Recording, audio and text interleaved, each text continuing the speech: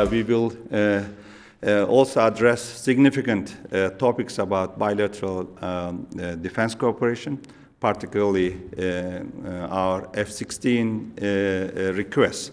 And as, as, as, we said together before, this is not only for Turkey, but also important for NATO and for United States as well. So we expect the approval uh, in the line with our joint uh, uh, strategic interests.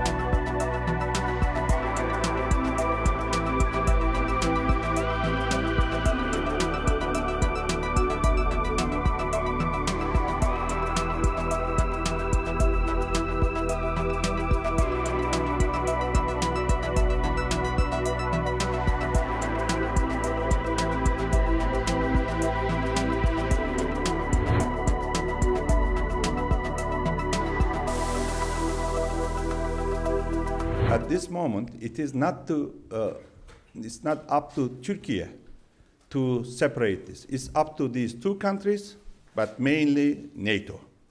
If NATO and two countries uh, decide to separate the membership processes of Finland and Sweden, and Turkey will, of course, reconsider of uh, Finland's uh, membership separately.